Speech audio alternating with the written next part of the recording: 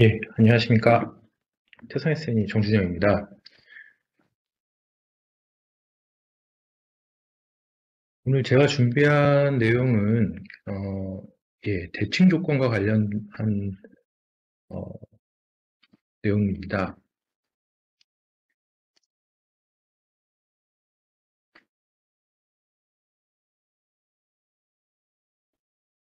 어, 대칭 조건과 관련해서 다양한 대칭 조건들을 제공을 하고 있는데, 음, 일반적으로 많이 활용을 못 하시고 계신 것 같아서, 그리고 이제 대칭 조건을 쓰는 데 있어서의 어떤 제약 조건이나 이런 것들에 대한 숙지가 명확하지가 않다 보니 좀 쓰시는데 불편함을 느끼시는 것 같아서 그런 부분에 있어서 조금 어, 예, 어느 정도 답변이 될 수 있을 만한 내용으로 좀 준비를 해봤습니다.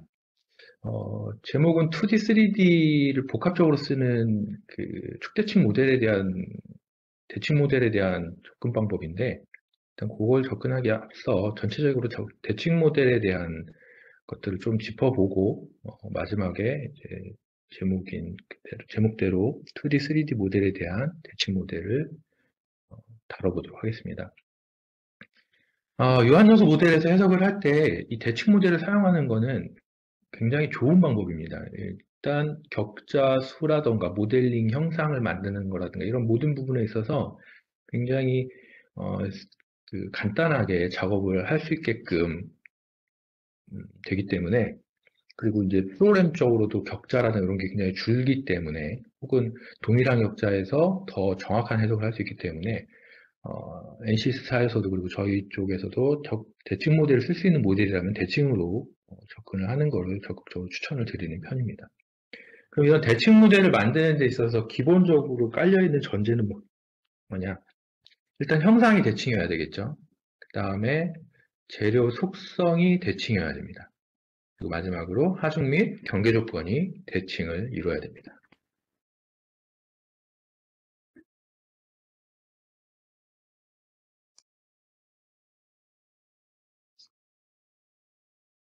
그래서 보시는 것처럼 대칭 모델의 재료 하중 및 경, 어, 형상이 대칭이더라도 재료의 속성이 뭐 이방성 재료 같은 경우에 화면에 보시는 것처럼 어, 방향에 따라서 재료의 속성이 달라지기 때문에 이것도 대칭성이 깨지게 됩니다. 이런 경우에는 이제 대칭이 유효하지 않는 조건이 되겠죠. 그래서 이 모델의 형상과 재료 물성 그리고 하중이 대칭해야 되는데 경우에 따라서 하중의 경우에는 비대칭 하중일 경우에 해석적 접근이 가능합니다. 비대칭 하중이더라도 어, 화면에 보시는 것처럼 어, 안티시메트릭한 하중이 걸리는 경우이더라도 대칭 모, 조건의 모델로 해석을 수행을 하실 수가 있습니다. 요거와 관련해서는 NCS 워크벤치 혹은 NCS 메케니컬 APDL에서 기능을 제공을 하고 있고요. 화면에 보시는 것처럼 어, 구속 그 경, 대칭 경계면에서의 구속 방식에 따라서 symmetric하고 antisymmetric이 구분이 된다라고 보시면 되겠습니다. 그래서 Workbench에서도 이 antisymmetric 옵션을 줄 수가 있으니까요. 이걸 좀 사용을 해보시면 예, 비대칭 하중 조건 하에서도 대칭 모델을 적용을 해서 해석을 수행을 하실 수 있으실 겁니다. 어, 대칭 경계 조건을 줄 때 좀 주의하셔야 될 부분인데요. 일반적으로 이제 그냥 어, 사각 블록 형태의 대칭면을 기준으로 대칭 평면을 기준으로 쪼개져 있는 경우에는 크게 문제가 되지는 않습니다. 글로벌 직교좌표계를 기준으로 글로벌 직교좌표계의 어, 방향과 대칭 평면이 평행 혹은 수직으로 놓이기 때문에 그런 경우에는 어, 대칭 평면의 구속을 잡는데 크게 문제가 되지는 않는데 어, 일정 섹터에 대한 회전 대칭 모델일 경우에는 어, 섹터 면에 대칭 면이 글로벌 좌표계의 축과 평행 혹은 수직 방향으로 놓이질 않습니다. 어, 대칭 면은 면의 수직한 방향이 구속이 돼야 되는 조건들이 주로 놓이기 때문에 그 방향에 대한 구속을 위해서 노드의 nodal 좌표계가 면의 수직한 방향으로 놓여져야 됩니다.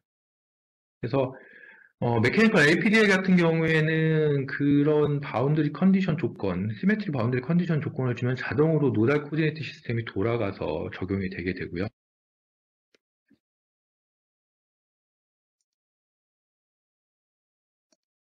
어,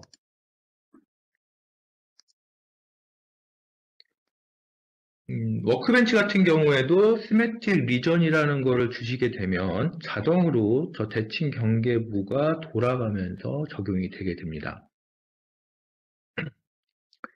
어, 이 조건을 주실 때 좀 주의하셔야 될 거는 이제 그 양쪽의 대칭면이 이제 섹터를 잘라서 모델링을 하게 되면 양쪽의 대칭면이 이렇게 만나는 부분들이 있습니다. 그럼 만나는 부분에서의 어, 경계 조건은 이런 식으로 이제 각 그 노달 코디네이트 시스템이 양방향에 대해서 수직으로 놓여야 되기 때문에 제대로 안 돌아가는 경우가 생깁니다. 그래서 저런 부분들은 어, 해석의 정확도는 좀 떨어지더라도 구속을 일부러 어, 하지 않고 해석을 하기도 합니다.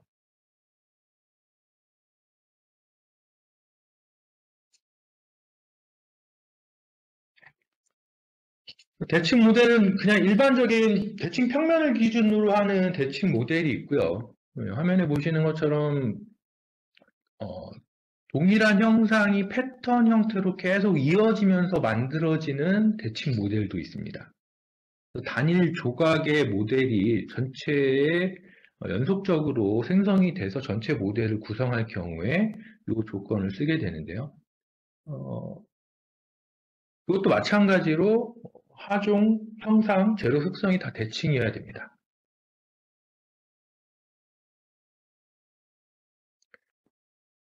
어, 네, 요 패턴에 따른 이런 periodic symmetric 조건은 어, cyclic symmetric 조건이라고도 부르기도 하는데요.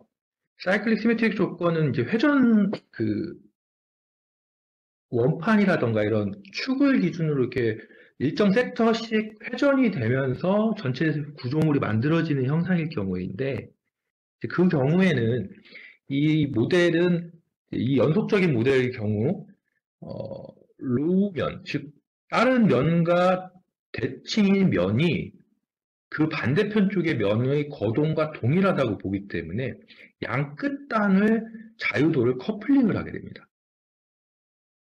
화면에 보시는 것처럼 커플링 옵션이라든가 이런 거 써가지고 저렇게 커플링을 하기도 하고요. Workbench 같은 경우에는 cyclic region이라는 기능을 사용을 하시면 자동으로 저 부분이 커플링이 되게 됩니다.